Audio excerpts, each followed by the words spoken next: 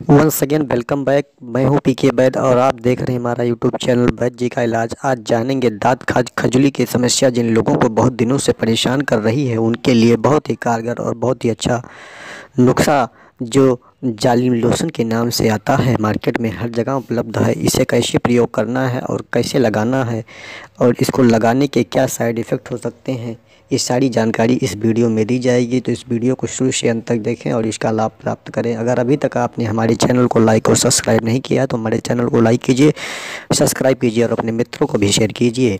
जालिम लोशन जैसा कि इसका नाम है? जालिम लोशन ये दाद और खाज और खुजली की समस्या जो लगातार बनी हुई है, उस पर लगाने के लिए आपको रुई लेना है, कॉटन लेना है और कॉटन को आप किसी भी स्टिक में लगा लें। स्टिक में लगाने के बाद उसमें आप थोड़ा सा जालिम लोशन डुबा के और हल्के हाथ से उस पर आप हल्के हाथ से जो जिस स्थान पे आपको दाँत खाज खिजली की समस्या है, लगा के छोड़ दें।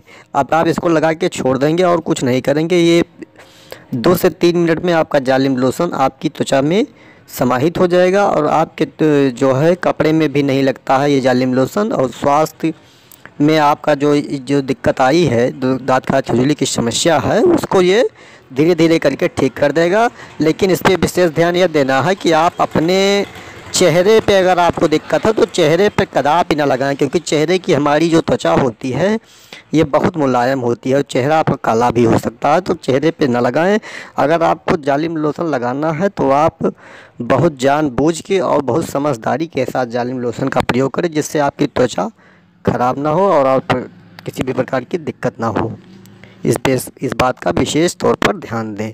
जालिम लोशन आप अपने बाहरी अंगों पे ही लगाएँ, जैसे हाथ पैर में कहीं दिक्कत है तो वहाँ ही प्रयोग करें और आप गुप्तांगों पे भी इसका प्रयोग ना करें, नहीं तो आपको जलन की समस्या हो सकती है। ये विशेष तौर पर आप ध्यान दें। जालिम लोशन प्रयोग करते समय सावधानी विशेष है। धन्यवाद।